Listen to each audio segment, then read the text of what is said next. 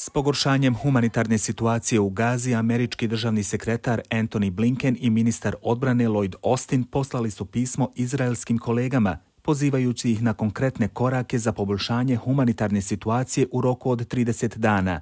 Neuspjeh u tome, kažu, mogao bi imati implikacije američke politike prema Izraelu, Dvojica čelnika su smatrala primjerenim da se vladi Izraela jasno stavi do znanja da moraju načiniti promjene kada je riječ o dostavi humanitarne pomoći u gazu, a koja je na vrlo niskom nivou, i omogućiti da taj protok pomoći bude veći. Sličan zahtjev Sjedinjene američke države su Izraelu poslale u aprilu što je dovelo do povećanja humanitarne pomoći u gazi, ali ta je pomoć sada smanjena za više od 50%.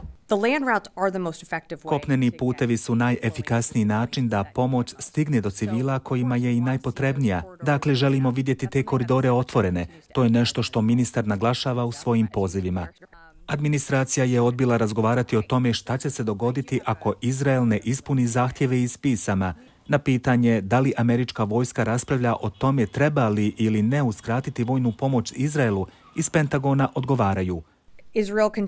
Izrael i dalje dobiva podršku od Sjedinjenih američkih država, bilo da se radi o prodaji oružja kroz Ministarstvo vanjskih poslova ili o onome što vidite da radimo u samoodbrani Izraela. Sjedinjene američke države poslale su u Izrael odbrambeni sistem TED, zajedno sa desetinama američkih vojnika koji će njime upravljati. Vidjeli ste naše razarače kako djeluju s mora. Ovo je sada kopnena sposobnost koja će pomoći u odbrani od još jednog napada balističkim projektilima ako Iran odluči odgovoriti na taj način.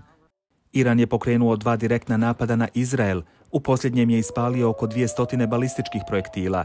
Tel Aviv još nije odgovorio na taj napad.